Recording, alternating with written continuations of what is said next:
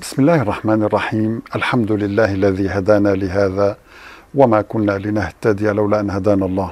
وصلى الله على حبيبنا محمد النبي الأمي وعلى آله وأصحابه وسلم تسليما كثيرا. أيها الأحبة كيف نقوم الليل؟ معظمنا يظن أن قيام الليل يجب أن يقتصر على السجود والركوع والصلاة. ولكن هذا المفهوم ناقص أيها الأحبة. آه، لأن الله عز وجل عندما أخبرنا عن قيام الليل لم يقل من أمضى الليل قائما أو مصليا. ماذا قال؟ قال سبحانه وتعالى امن هو قانت اناء الليل قانت خاشع. والقنوت هنا أيها الأحبة يمكن أن تدعو الله وأنت خاشع يمكن أن تذكر الله وأنت خاشع يمكن أن تطعم فقيرا وأنت خاشع فالقنوت يصف حالة الإنسان لا يصف الفعل. يمكن أن تصلي وأنت قانت أو خاشع. إذا القنوت هنا هنا لم يستخدم القرآن لفظ الصلاة استخدم لفظ القنوت أي الخشوع لله عز وجل. أما هو قانت أي خاشع. آناء الليل أجزاء طويلة من الليل معظم الليل. ماذا يفعل؟ ساجدا وقائما. يرجو رحمة ربه يحذر الآخرة ويرجو رحمة ربه. قل هل يستوي الذين يعلمون؟ والذين لا يعلمون إنما يتذكر أولو الألباب. سبحان الله يعني انظروا أيها الأحبة وصف لنا حالة المؤمن الذي هو يمضي ليله خاشعا لله ساجدا وقائما.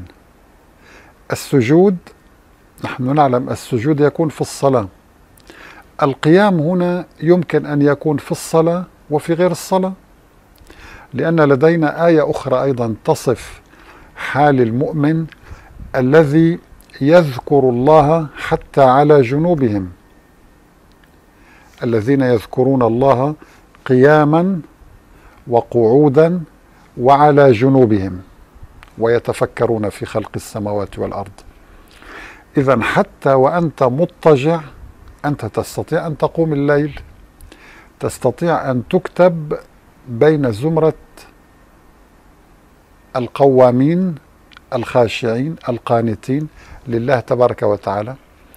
إذا أخي الحبيب أول شيء أو أهم شيء هو ذكر الله أن تذكر الله.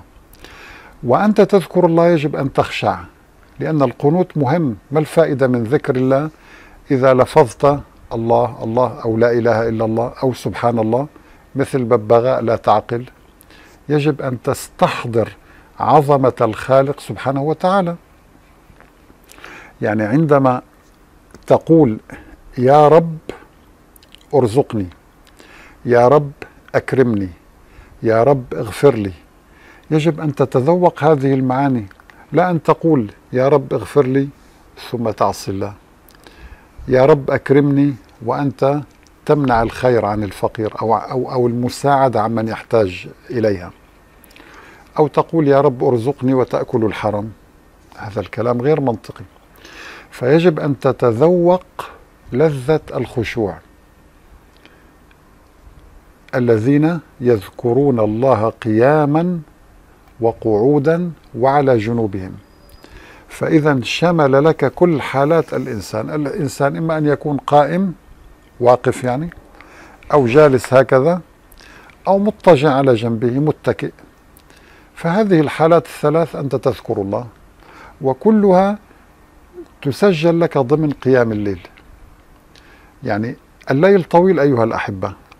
يعني الإنسان يقوم يصلي مثلا آه، مثلا أربع ركعات.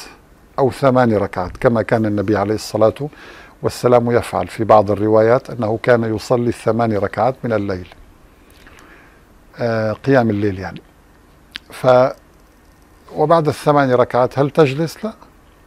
تقرأ القرآن تذكر الله تتأمل معجزات القرآن. اليوم تستطيع أن تقوم الليل على موقع يوتيوب مثلا أو فيسبوك.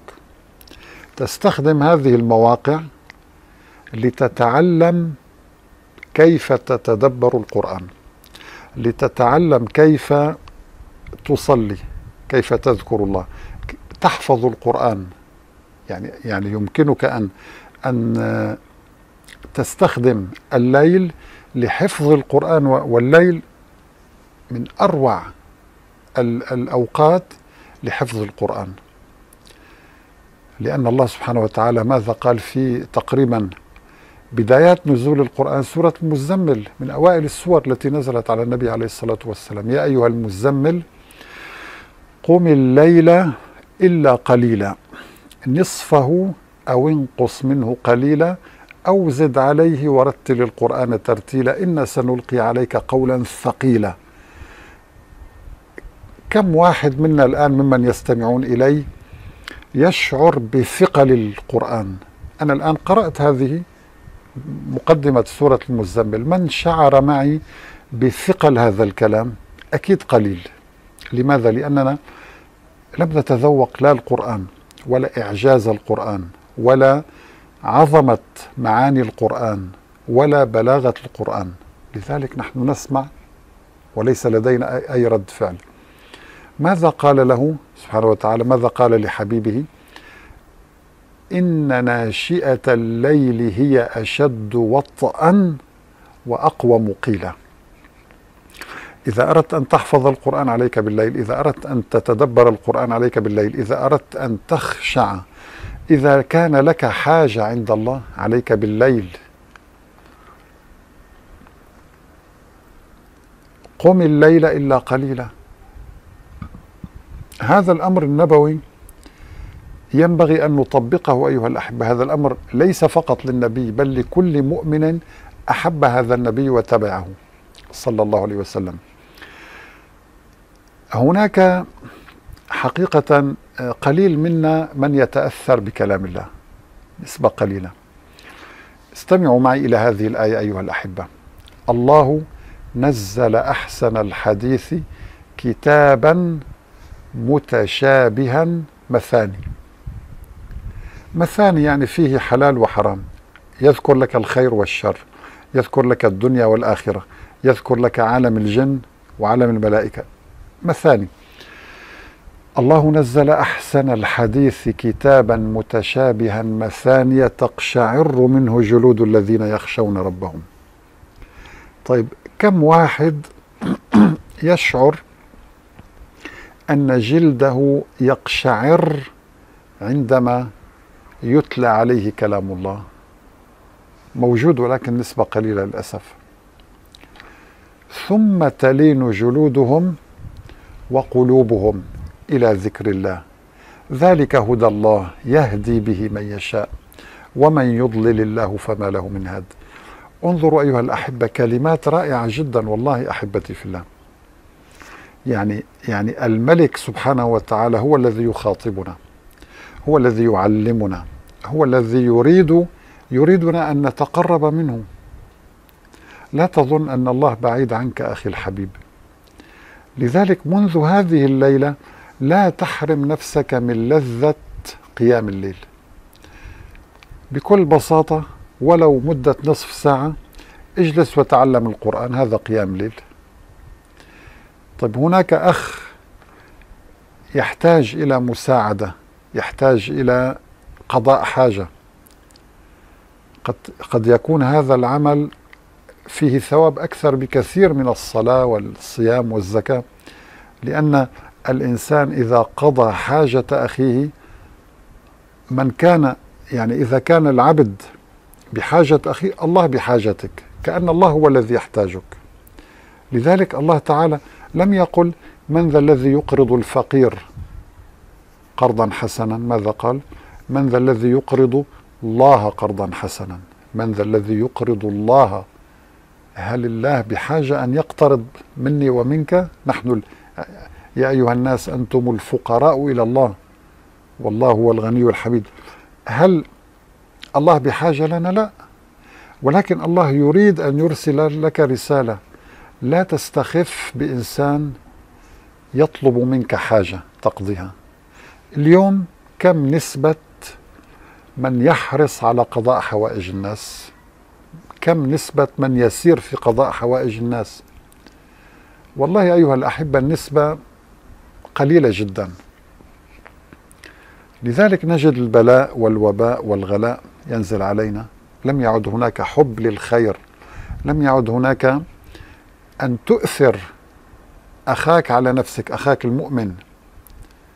حتى أخاك في الإنسانية يجب أن تعامله معاملة حسنة. وقولوا للناس حسنى للناس أي إنسان. فلذلك أيها الأحبة ألخص هذا اللقاء الإيماني بكلمات قليلة. أقول إن قيام الليل وقرآن الفجر إن قرآن الفجر كان مشهودا. آه قيام الليل القرآن ذكر الله. ولو نصف ساعة كل يوم لا تنسى. قد يأتيك الموت غدا وأنت غافل وأنت تخطط لمشاريع ستنفذها هنا وهناك. تريد أن آه، تفعل كذا وكذا غدا لديك مواعيد لديك أعمال لديك مشاكل ستحلها. قد يأتيك الموت بغتة. بغتة. يدمر كل هذه المشاريع والأفكار.